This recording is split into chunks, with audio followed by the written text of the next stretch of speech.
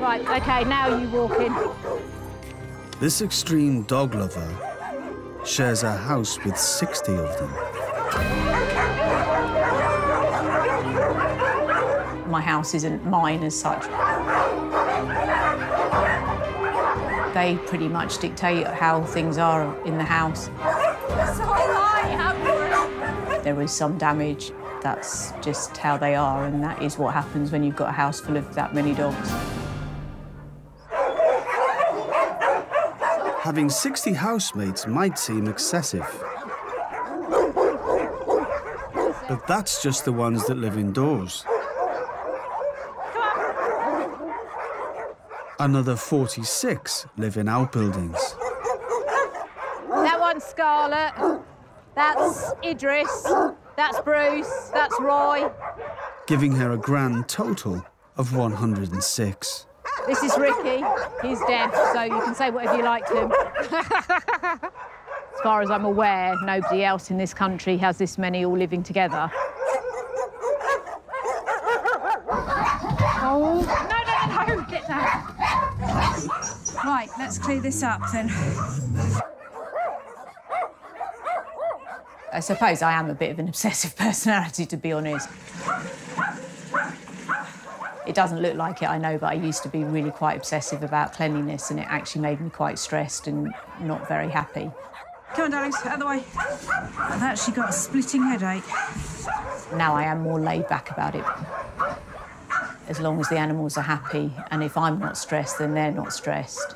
If they do bring mud in, or if they do mess in the house, it's not really the end of the world. There are more important things to be worried about.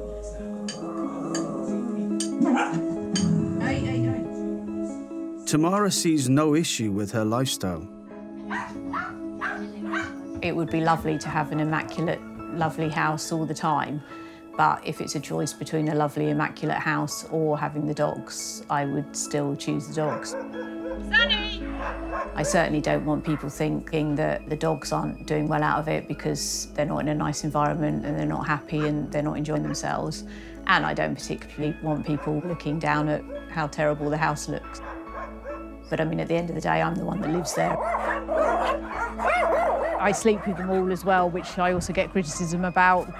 But I'm not really that fussed about what other people think. I wouldn't have had my life how I have if I was that bothered about what anybody else thought.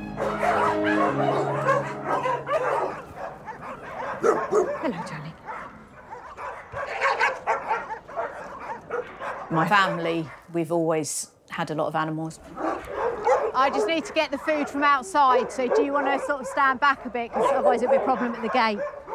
People used to bring us animals, and we've all taken it to slightly different levels. I think there's probably a degree of insanity running through the family. I personally haven't got much issue with insanity, and people have called me mad since I was a kid. Enzo! No. Sometimes madness and not being like the rest of the world, I think, is a bit of an added advantage and not necessarily something to be ashamed of. So I'm quite happy with that, to be honest. And Tamara is content with just her 106 dogs for company. I wouldn't want to live without animals, but I'm very happy living without people. He is very cuddly. Hey? Hunter?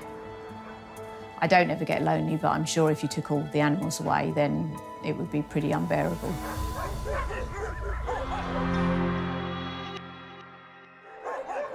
At the moment, I've got 106. They do like me, which is a bit of a bonus.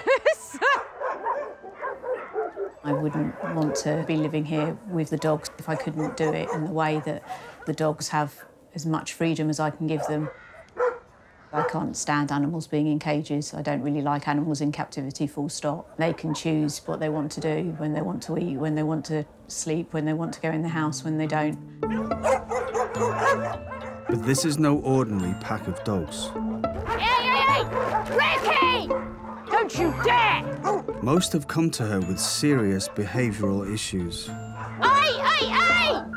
Idris! What have I told you? Some of the dogs that are here have previously in the past bitten. Sula! They are the worst end of the scale that have got problems.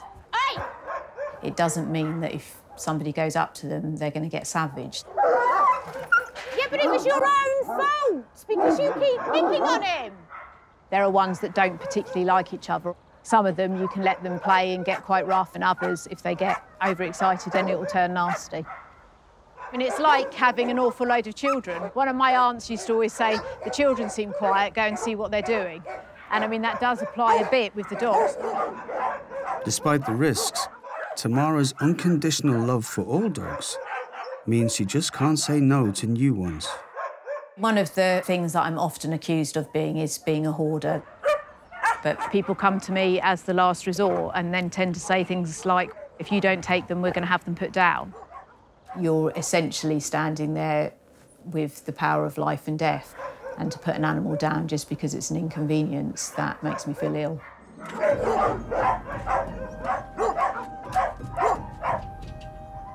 You think, well, it is just that one more, but of course it's always that one more and then another one more and another one more.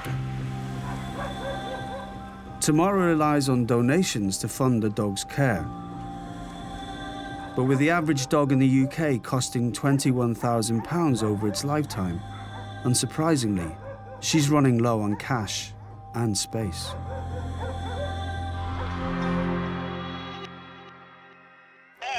Hello there, you'll have to put up with a bit of dog noise because I've got quite a few dogs around me. Overstretched owner of 106 dogs, Tamara is catching up with her mother.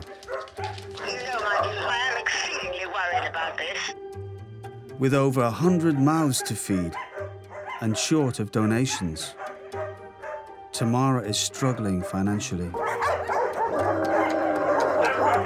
Okie dokie, I'll see you on Friday then. Bye then. She used to work four jobs to support the dogs. I've done loads of exciting stuff. Post office, riding school, night cashier at a garage, teacher, home office. She then successfully applied to become a registered charity, enabling her to keep all her dogs. But the authorities are unhappy with how she's been running the business side of things. Blakey! Stop it! Until they agree on how she administers the charity, she can't do any new fundraising. I'm not prepared to forfeit what I think is vital for the animals just to be able to carry on. Tamara may have to consider a lonely future. You have to reach a point where you say it's just not right, then you are better off arguably saying, right, that's it. If an agreement isn't reached with the authorities, she might be forced to shut and could face a life without her dogs. It's very difficult to be able to know for certain into the future. I certainly don't want to be the sort of person that gets raided and finds that all the animals are in terrible situation because you can't cope. And sadly, it could become a very stressful, complicated, difficult decision.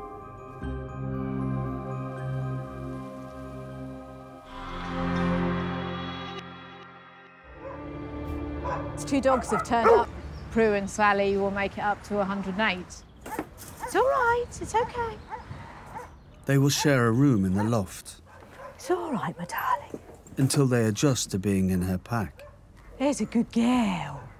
Unfortunately, I made the mistake of putting a uh, feather bed in here and they opened it out. It's taking ages to get rid of all the feathers.